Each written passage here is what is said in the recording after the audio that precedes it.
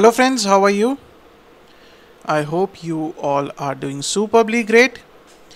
So let's continue with our RTP discussion for December 21 CA Intermediate. Before we start, what you have to do is you have to subscribe to the channel and press the bell icon so that you get all the notifications. Sir, why you need to subscribe it? Because there is a lots and lots of lots of useful content for you people right? Not just the notifications and all that. What you are getting is the quality content. Quality content means you are getting the full course lectures of cost accounting financial management and economics for finance. Costing is available in hindi and currently the english batch is also going on. So you're getting a whole lot of content. So at least what you can do is you can just subscribe to the channel right? And do like the videos because that serve as a motivation for all of us that yes we should keep on providing such content that is absolutely free of cost right? And always one thing i always say uh, to my students that if you want to gain something if you want the bigger rewards in the life you always have to invest something right? Yes i have been providing lots and lots of content free of cost. The whole courses are there for free of cost. But yes my books are paid. A lot of people have questioned also that how is it possible that you are providing everything free of cost that how you are able to run your uh, home and uh, family? Right? My simple question is that whatever i can do i have been doing it. Right? And it is not like that i'm not having food every day. I'm having three meals every day. I'm running my family very nice. Right? Yes the few things i have also kept it paid. Few of the best courses i have kept it paid right? Like the ICI SM course that is currently available in Hindi we are working on the English version also right? So our handbooks are paid. Very well written handbooks very useful for you people. So it is up to you that how you want to see that advantage in the things right? That is where the difference is uh, the one who is scoring 50 marks and the one who is scoring 90 marks. The difference is in the mindset how you treat your mindset that if I'm going to buy some course or buy some handbook, whether it is a cost for me or uh, an investment, the one who is spending 90, uh, who is scoring 90 marks, he thinks it as an future investment, right? And one who is scoring 40, 50 marks, he thinks it is a cost, it is useless thing. Why should I buy it? So that is where the difference lies. Okay, so let's continue with our discussion on RTP December 2021 series and the question is from the batch costing now if we talk about the batch costing normally uh, a question from batch costing will come for approximately and approximately 5 marks right normally what we have been getting is a question on batch costing for 5 marks right and most of the times you will be getting a question on economic batch quantity उसके अलावा कोई question बनता भी नहीं है sir अगर batch quantity batch की बात करें तो या तो फिर है कि कॉस्ट शीट पूछी जाएगी राइट कॉस्ट और बैच को कंबाइन किया जाएगा। अगर स्पेसिफिकली बैच कॉस्टिंग से क्वेश्चन आना है तो that has to be the economic batch quantity right और यही क्वेश्चन उन्होंने यहाँ पर पूछा हमसे। ठीक है जी? तो पढ़ते हैं क्वेश्चन को, फटाफट से सॉल्व करते हैं। बहुत ही एक छोटा सा क्वेश्चन है, लेकिन छोटी छोटी चीज़ें हैं जहाँ पर आप लोग गलतियाँ करते हो। Right that is why these courses these lectures are important मैंने पहले भी बताया था कि जो मैंने आई सी एम सीरीज़ की ना, उसमें भी एक स्पेशल इसी चीज़ पे फोकस रखा कि कहाँ पर आप लोग गलती कर सकते हो और कैसे मैंने आपको बताना है कि आप अवॉइड करो। इसीलिए वो कोर्स जो है, वो बहुत बच्चे लाइक करते हैं। मेरे पास बहुत सारे कमेंट्स हैं, बच्चे कहते हैं, sir this is the best thing exclusively I C I study mat पे कोर्स है। और इस चीज़ पे मैंने स्पेशल फोकस दिया कि कहाँ पर आप लोग गलती करते हो? Because I have experience I have seen students committing the various mistakes right तो I have focused on that thing that where you people can commit the mistakes and how to avoid it in the examination that is what I am I have told you in that course let's read the question Roll On Limited is committed to supply ninety six thousand eight hundred bearings पर annum right so this is my annual requirement this becomes my annual requirement to Racing Limited on the steady basis. It is estimated that it cost 25 paisa as inventory carrying cost per bearing per month. Per bearing per month. Right? And the setup cost per run of bearing manufacture is 588. Compute what would be the optimum run size for bearing manufacture right? So he's talking about the economic batch quantity that you have to calculate. Optimum run size sir very simple concept. Under root of 2 into annual requirement that is considered as d. S is the setup cost. This is my annual requirement. This is my setup cost. And this is my carrying cost carrying cost per unit carrying cost per unit per annum now you can see I have highlighted something. Why? Why have I highlighted this thing? Sir inventory carrying cost per bearing per month. I have highlighted per month because this is the area where you people are expected to commit a mistake. Why? The reason of committing a mistake is that we do not read the question carefully in the examination.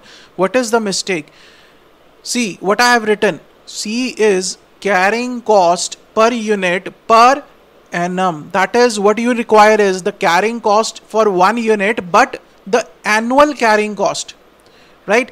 What you are given is 25 paisa that is for per bearing that is per unit that is fine. But it is given as per month not annual. That means you will have to convert it into annual. And if you see the solution that is why they have multiplied it with 12 clear? Now in the examination what do you people obviously i understand there is an examination pressure.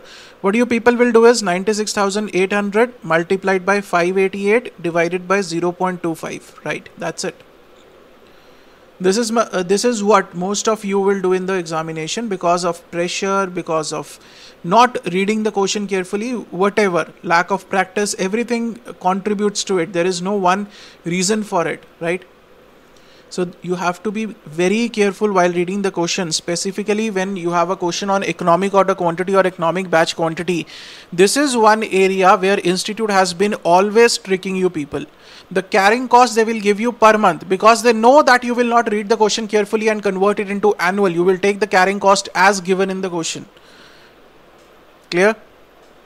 This is one area where institute has been tricking and institute will keep on checking whether you are clear with this thing or not क्या आप लोगों के mind में वो mind set है कि हाँ हम लोगों को क्वेश्चन इस तरह से पढ़ना है so be careful while reading the economic order quantity and economic batch quantity question right be read carefully whether the carrying cost is per month per annum semi quarter semi annually quarterly whatever the information is given you have to act accordingly right? Now so with this the first part is done very simple. Come to the second part. Assuming that a company has a policy of manufacturing 8800 bearings per run. Now he says Calculate how much extra cost the company would be incurring as compared to the optimum run suggested above. Now he says if the company doesn't want to uh, make a batch of 6160 bearings, instead of that, the company wants to make a batch of 8800 bearings, then you have to compare the cost that whether in which case the cost will be more right how much of extra cost the company will have to incur or company will be saving cost if they go by the ebq right so in that analysis, you have to see the two cost. Basically, whenever we are talking about this analysis, right, you will be looking at two cost. One is the setup cost, right? Total setup cost basically I can say and the second thing is total carrying cost. So these are the two things that we'll be looking at. Total setup cost and total carrying cost. Isn't it? Clear sir? So this is what they have calculated the total cost of maintaining the inventories when the production run size is 6160 that is EBQ and 8800 bearings as the company wants to do it. What is total cost? It is the sum total of total setup cost and the total carrying cost. So they have made this table when the run size is 6160 uh, bearings and 8800 bearings. Total setup cost. Tot for total setup cost, the first step is to calculate the number of setups. Right? You have to calculate the number of setups. Number of setups will be how they are going to be calculated. 9600 that is the annual requirement divided by the uh, number of units in one batch. That is 6160 right? Multiplied by the setup cost per run right? So number of setups 15.71 or 16 setups multiplied by 588 so they have calculated it this way right? So you can take it in the points or you can round it off right? That is what institute have shown total carrying cost total carrying cost is the average inventory half of 6160 this becomes my average inventory. Sir why average inventory? Because the same amount of inventory is not being carried throughout the year right? It keeps on changing. So we take the average inventory multiplied by the carrying cost per unit per annum. Again be careful here. If you will be careful here but not careful in the second part again you are bound to lose the marks right so you need to be careful at each and every stage. Now in case of 8800 uh, bearings, right, this is the number of setups multiplied by 588, 6468 is the total cost and the carrying cost is 13,200 so the total cost in case of EBQ is something else. Why they are given sir slash two values? Because of the different setup cost, right? If you take 16, the setup cost will be different. If you take it 15.71, the setup cost will be different, right? So there will be a slight difference. No need to worry about it. So the extra cost, that means this cost minus this cost is the extra cost that the company will have to incur, right?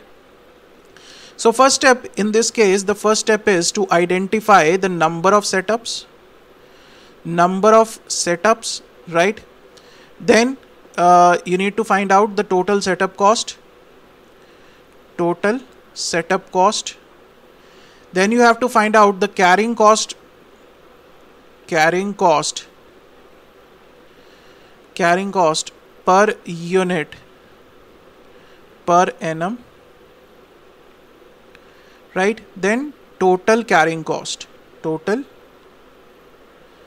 carrying cost.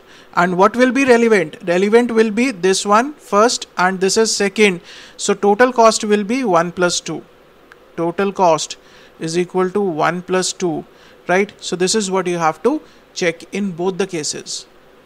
Clear?